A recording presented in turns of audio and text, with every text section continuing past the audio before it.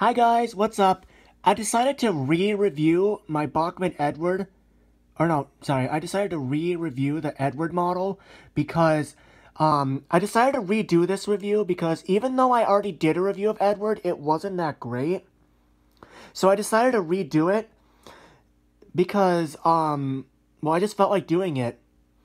And also, I like I would like to dedicate this to my good to my good friend Mike D57S. So, Mike, if you're watching this, this is for you, dude. So, anyway, um, let's start off, shall we? Edward was the very first character created by Wilbert Awdry. Um, he created his son. He created it for his son Christopher, who was sick with measles in bed, and he thought of a locomotive name, and Edward was a name that just came out of thin air. So he started writing stories for the Blue Tender Engine, and well, Edward first appeared in the rail first appeared in book number one, the three railway engines. In the story,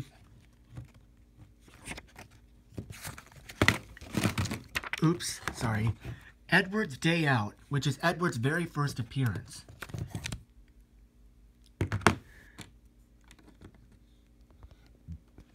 And then after that, Edward had his Edward had the ninth railway series book all about him. I on obviously called Edward the Blue Engine. Edward first appeared in Edward has been seen in every single season. Now, okay, so that's the railway series done. Now for the television series. Edward obviously was seen in season one along with Thomas, Henry, and all the others. Well, engines 1 through 7 were introduced, obviously. And then season 2, um, he was still seen throughout the series, and even in the CGI series. Um, throughout the classic series, Edward ha Edward has gotten very great roles. I think the most defining moments for Edward would have to be season two because I feel like that's where he really shined. Um, I feel like um Edward um. I'm gonna say it right now. My favorite all-time Edward episode is Edward's Exploit. I'm gonna say that right now. That's my favorite Edward episode. Um, in you know throughout the classic series, Edward had great roles. Then in the new series, Edward started getting less roles. I think in season 9, Edward started getting less roles. And then now in the CGI series, particularly seasons 13 through 16, Edward got very like little like very little roles. Almost little to no roles at all. They ruined his person his personality too. But when season 17 and 18 came around, Edward got more roles, which is great. Um of, sadly, Edward was not featured in the Thomas and the Magic Railroad movie for two reasons. And I'm gonna and this is for two reasons. One, his model was not finished in time. Now that's understandable. The second reason, and I think this is a completely stupid reason, according to one of the producers, Phil Farrell, I believe, I think that's his name, there was just not enough screen time and opportunity to utilize Edward that added any real value to the film. What the hell? Edward is one of the main characters, for, for Pete's sake.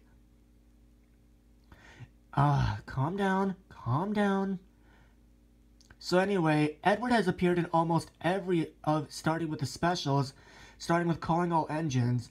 He even appeared in The Great Race, although he wasn't actually featured, like going with them to the Great Railway Show. Um, so that's that. Um, I like Edward's personality, his, um, his kind, wise personality, and we, I'm really glad we're starting to see that now. Um, it's really great that we're seeing more of Edward's old personality resurface. Um, okay, so now for the basis.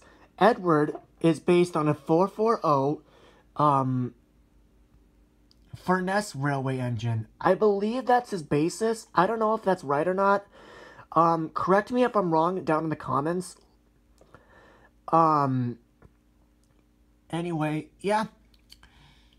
So, enough about Edward. Let's get on to the model, shall we? You know what? No, um, I'm not gonna, let me put his tender back on.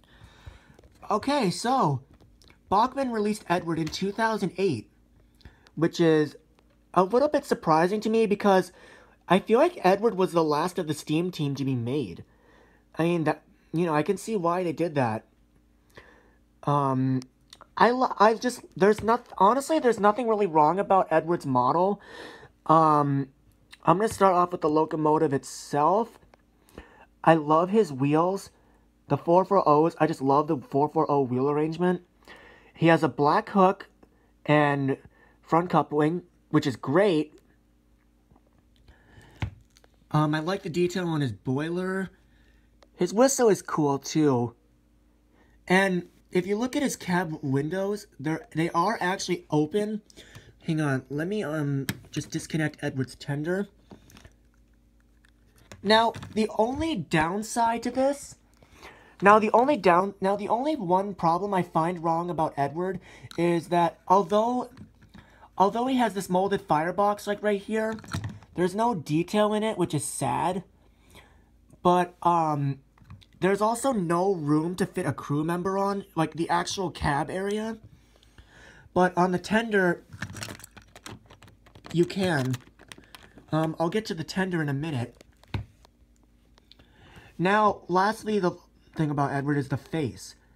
Look at that face. It just, it's just TV series accurate. Model series, at model series accurate is what I mean. Now, the face is just great. I'll give it that. Now, on to the tender. Now, the only problem with the tender is, why do they paint this this cockpit area blue like the rest of his tender and not black? Like the coal black like they did with Henry and Gordon? Why didn't they do that? The steps are molded, which is cool. He also has this little door on his tender, which is great. Um, it's just great that Edward, um, you know, just looks great and all. The number two is printed nicely. I like the font that they use for it. Looks cool. His wheel guards are black. The back of the tender, it's, well, what I, what I haven't, what I already said about the front. Black hook as always. I don't know about you, but does Edward's tender seem look a lot thinner than James's? I don't know if that's true or not. Um, let me know if, because I'm not sure, because I do have James's model, like, up on the shelf. I just don't feel like getting it right now. So, overall, the only two problems I found, there's honestly nothing, overall, I give Edward, um, perfect score. It, I mean, the firebox, like the cab area and the tender piece, I'll forgive that. I'm, I'm just to let that slide. So overall, I rate this a 10 out of 10. Bachmann's best model yet. Um, and once again, Mike D57S, this is for you. Um, uh, so yeah, thanks again for watching. Um, I the next review that I'm gonna be redoing is the Bachmann Thomas review. So um, I will do that eventually. I just don't know when. But, you know, we'll see. Anyway, this is Sodor Santa Fe signing off. Don't forget to like, comment, and subscribe for more videos.